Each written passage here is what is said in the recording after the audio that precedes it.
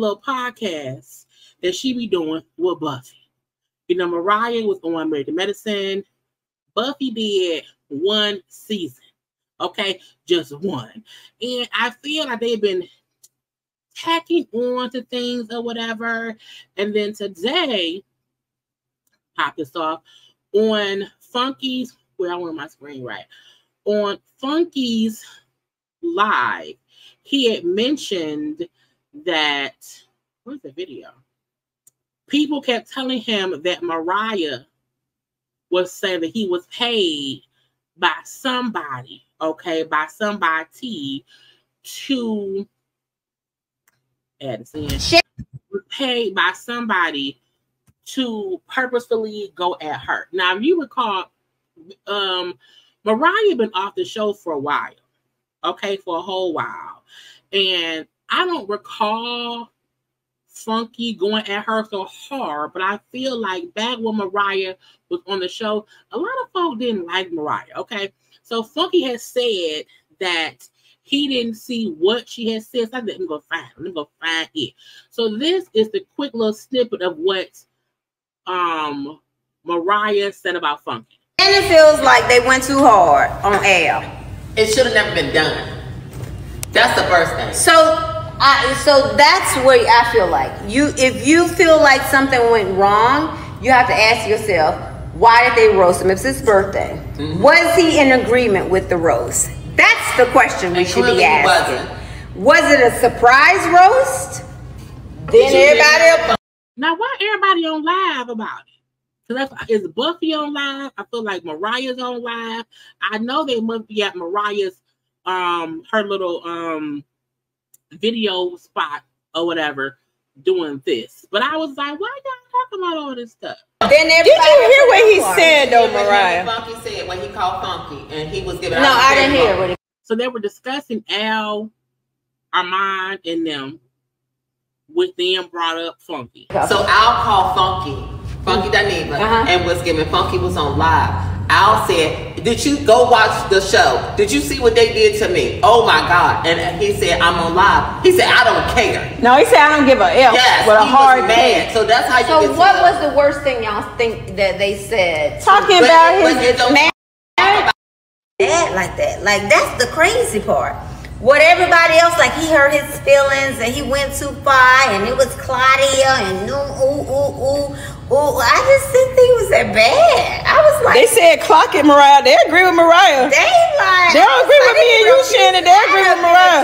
They agree with Mariah. They, they agree with Mariah. I'm like, why y'all all talking? Somebody stop talking so we can hear one person. The tape.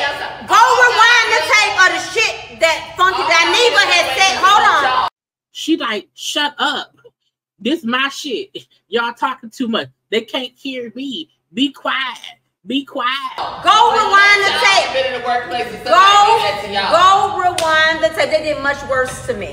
they did much worse to me on my own shit. Go rewind the tape. And Dineva ain't on, wasn't on my show, but I think he was being paid. In Follow Mariah Huq. My humble opinion. Did you clock Go rewind and watch everything Funky Dineva ever said to me. I only been nice to that man. God, my right hand to God. I loved him and Michelle from ATL. And go child, not putting Michelle and Funky in a now y'all know Michelle Brown, aka Lynn, and Funky are not friends. Okay, you can love them both, but not together. Overwind and say I love Michelle from ATL. Hey, you should know that nobody goes that hard unless they get a quintage or whatever. That's how I feel. I didn't think, uh, or maybe I didn't watch the whole thing. I could see how it was a little personal. But I felt like, come on, now you just what agree. So Mariah saying Funky was going hard at me, and nobody go hard at anybody unless they're being paid by someone to do so. Now, again, a lot of people love to say bloggers are being paid by this person, by that person. But again, as I said earlier, sometimes people just don't like you. And it has nothing to do with people being paid by somebody else. Truthfully, it don't pay to dog out somebody. It don't because eventually you come off looking like a hater. Okay, so Funky I was on his live, so I was watching earlier, whatever, and I saw him respond. Okay, and I'm like, well, he responded. Let's watch. Yeah, Mich- child, Michelle hates Funky. Michelle, look, Michelle hate Funky. I think I don't think Funky hate Michelle, but I I don't think he like her either. I think he I think he is like, I don't ever have to speak on that bit. Leave me her, you know, never ever again. Okay, but a few people feel that way about me because that's also who Maddie, LTS Madison, um, you know, has doesn't really care for anymore. Um, no, Funky lives in Miami. I know he was talking about possibly moving back to Atlanta, but he's been in Miami for a, few years now. He he been moved out of Miami. Um, but because Funky said that folks kept saying to him, bringing up, because Mariah was on her live with Buffy when that was said to her, saying verbatim, if you watch the stuff back, Funky was really, really mean towards me, said a whole bunch of mean things, and I think, I think he was being paid to do that, but no one would be that mean to someone unless they're being paid. And I'm like, no, sometimes folk just don't like you. Like I don't like Miss Wanda. Ain't nobody paying me to say that she crazy as hell. I just don't like Miss Wanda. But Funky had a reply. Let's listen. Mariah said you was paid to attack her. Um, this probably has less to do with Mariah and more to do with y'all. It it kind of boils my blood sometimes when y'all do this whole Funky Dineva is on somebody payroll. Oh, you on Monique payroll. Oh, you on the Scott's payroll. Now, you know, according to Mariah, allegedly, I was on somebody else's payroll. And so I love when we get opportunities like this. Mariah Huq from Married to Medicine, guys. Y'all talking about Mariah Lynn, Mariah Carey. Keep up, Suzanne. Mariah Huq. I I really be wanting to role play with y'all. I want to role play with y'all. Please walk me through how this happens. Um, first and foremost, y'all, let's just play a game. Of all the medicine wives, which one y'all think paid me to attack Mariah? Who y'all think would have paid to have anyone attack Mariah? Could it have been Quad? Because Quad, Heavenly came on, Heavenly come on season two or season three. I feel like Heavenly did not really even get her bearings about her until seasons three, maybe four. You know, but I feel like Funky kind of child never liked Heavenly from the beginning. So I do feel like if anybody was to have paid him, it would have been somebody who had been from season one. Okay, maybe Jackie. Yes, the only reason I don't think Heavy because Heavy wasn't on from the beginning. Heavy had to had to to to grow up to even get to to dislike uh Mariah. You know, so maybe Jackie, maybe Quad, okay. But I'm like, I would have said either yeah, either Quad or Jackie. I mean, it would have to be Quad or Heavenly. Those would have to be the two that paid that paid me to attack her. Yeah, so I know he's friends with Heavenly, but I felt like him and Heavenly became more friendly once Quad, I mean once um um Mariah was no longer on the show or no longer, you know I'm saying, the, the big boss lady. So then how this go? Uh Quad called me dad. Dad, dad, what you doing? I'm gonna give you five hundred dollars if you go in and let half on Mariah on the internet. Okay, Quad. I'm a feeble-minded dude boy. Cash at me right now so I could go in on her. Like it doesn't even make sense. And then, oh, one second. Now let's play heavily. Fucking Aniva, fucking Aniva. You know I don't like that whole Mariah and her black ass mammy, Miss Lucy. I'm gonna give you a thousand dollars if you go in on her. Now, first of all, Heavenly will go off on people. So I don't see Heavenly paying anybody to read anybody because she'd do it herself. Okay, Heavenly, how about this? Instead of giving me money, how about you give me a free cleaner and I go in on her for years? How does that work? And so, you know, it, it, it it's funny because over the years, I personally feel like, you know, I've shown a lot of grace and I've spared a lot of people when it comes to a lot of situations. And, and and here's what I'll say. Um, you know, honestly, truthfully, Mariah, I honestly thought we were past all of this. And I honestly thought enough time had gone by that we probably had gotten to a space where we could, you know, do an interview on the internet or maybe run into each other at the Cheesecake Factory, waiting on the table and finish off our cocktails together, catching up. I, that would have been so cool if Funky would have had Mariah on for a little Kiki little chit chat. Yeah, I remember the whole shebang about Mariah and Quad getting into a fight at the little restaurant. And when it happened, he did tell us about it. Like I think either that night or the following day, he talked about Quad and Mariah getting into a physical altercation at the restaurant.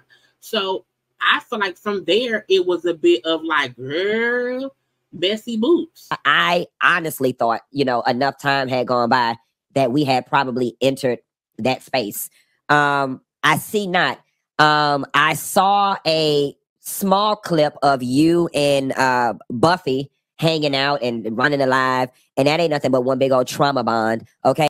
Child. A lot of folks do feel like Mariah and, and Buffy's bond is their hate for Bravo, the ladies, because they're not on the show. You know, Buffy did one season, Mariah did a few seasons, was then pushed out. So a lot of folks do feel like, even though they said that, because I have not watched Mariah and Buffy together, so I have an opinion. But I do feel like the, the couple times I've seen clips of them on social media and I've seen comments from people, they do all say they're bonding because they both have this disdain for Bravo slash Married to Medicine. Um, and that's what they always, you know, discuss. They need to go ahead and give Buffy's ass another season of Married to Medicine because she is so doggone bitter when it comes to not being on that doggone show. And for, for, for the life of me, I'm not understanding somebody so rich and wealthy as Buffy. I would be too busy shopping in damn Gucci and Prada somewhere than to be worrying about some two bit ass reality show. But then I knew when I saw Mariah and Buffy together. It- Child, not a two bit ass reality show. Child, like Funky and Al about. Bonding over Claudia, child. Was just going to be a, a, a cornucopia of bitterness, a whole conference of nothing but bitterness and shade throwing. Here's what I'll say to now move on. But I will say this to that. One little thing. I do feel like we haven't seen Al and, and Funky on like a podcast talking cash shit about Claudia. I feel like whatever cash shit they talk about Claudia, child, they don't do it on camera. They be kicking privately.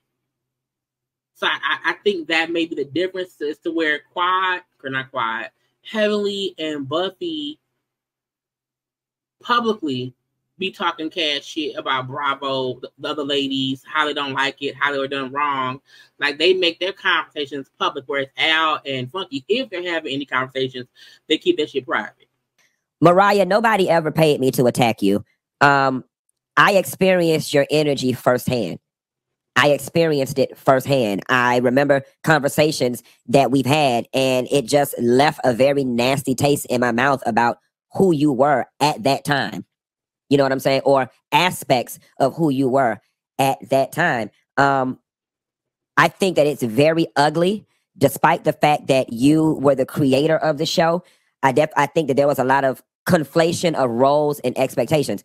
Me personally, I did not like the fact that your spirit and your energy required everybody to bow down to you like you were the queen of the earth. Some folks said that back then that heaven, heavenly that Mariah felt like because she created the show was also on the show that they had to kiss the ring of the god. A lot of folks felt like that is why the other ladies pushed her out because they did not feel the need to kiss her ass. It's a very ugly trait for someone to have. Um, I remember the first time I ever side eyed you is when you and Sharika came to Atlantic Station because you knew. I mean, not that because you knew I lived there. I lived there. You and you and Sharika called me down, and you invited me to Rosa Mexicana, and we were sitting there with season one of the show, and and we were just talking, and you were asking questions, and you were saying, "Funky Dineva, Funky Dineva, why why people saying Quad the star of the show? why people saying Quad the star of the show?" And I remember saying, I mean, I don't know, like you know, she's kind of breaking out to be the star. I don't know where everybody in Chattanooga say, everybody in Chattanooga say she trying to take my show. She trying to take my show. Chattanooga. Y'all care about Chattanooga? Now I will say during season one, I do feel like season one, Quad and Mariah were standouts. I think you know the fight between Mariah and Toya was a big thing. Um, I feel like to me, if I recall, season one, the big thing was the fight between Quads and Toya. So I do think because of that dynamic, and even how some folks require because at that point in time, Dr. G was like was he a, psychi- a psychiatrist? I do think she pushed herself to be like seen a lot. You know what I'm saying? So I, I do think that may be why people felt like she was a breakout star in the first season. I don't think she the star of the show. And if she is the star of the show, then I'm the star maker. You said those things. And I remember sitting there Right. I'm sorry, girl. Thank you so much. Mariah and Toya fought. What I remember is Quad running in, stopping it. And I remember how they kind of treated Quad as if she was like a little sad, yang, yang, yang, yang, girl, get on somewhere. Your husband ain't really a, a, a, doctor. I remember that part of it. And I know Quad had a lot of little comeback, a lot of quips. Yeah, Carrie fussing with Quad. So I do feel like Quad made herself a breakout star because of how she put herself into situations or how situations kind of revolved around her in one way or the other. Um, you know, so I can see, I, I remember Quad being um a fan favorite season one, but I also feel like people like Quad and Mariah season one. I was surprised they did like Toya because of the fact that Toya fought Mariah. Finishing eating my chips and guacamole and my pomegranate margarita, like something ain't right with this lady. You know what I'm saying? And then as you know, we continue to run into each other in public, and as I began to make friends with all of the other ladies, it was a recurring theme with you that you were to be regarded as the queen and that everybody was to kiss your ass and that that was your show. I remember a conversation I had with Quad when they were vouching to bring Heavenly on the show and you got mad and went off on Quad and was like, how dare you bring somebody on to go against me on my own SHIT?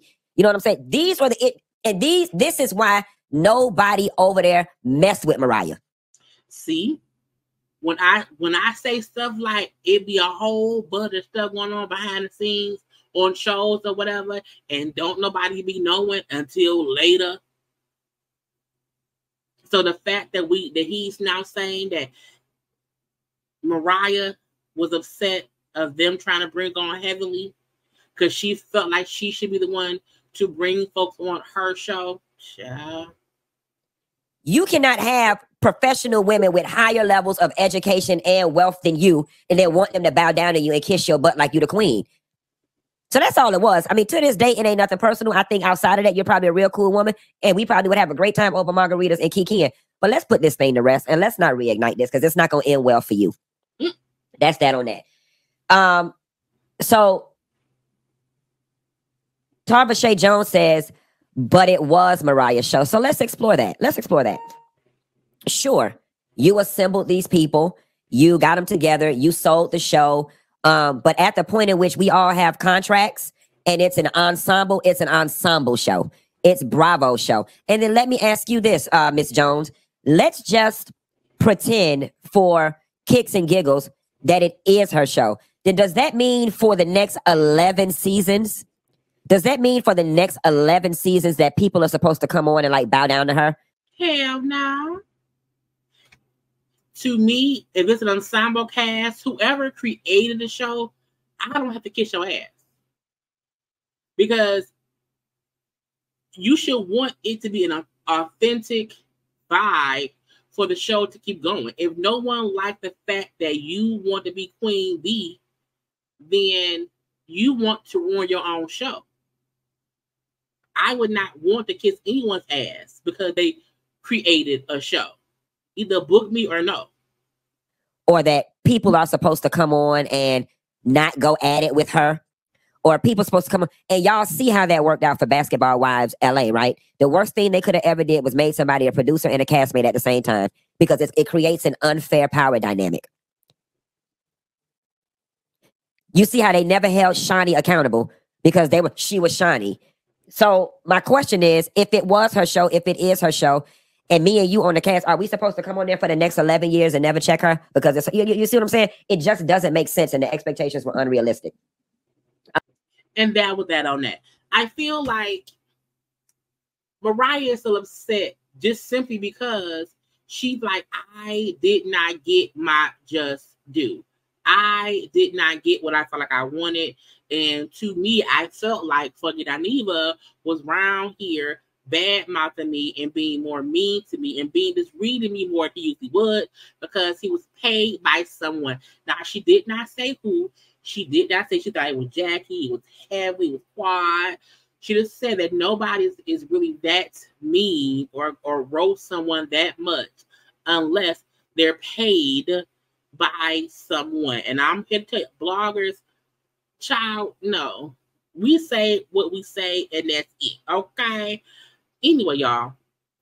That's it. That's all. I just wanted. I just wanted to add the little part on the, at the end. I'm gonna put it on in the morning. It's gonna be a replay for the morning. Okay. I hope y'all enjoyed. I-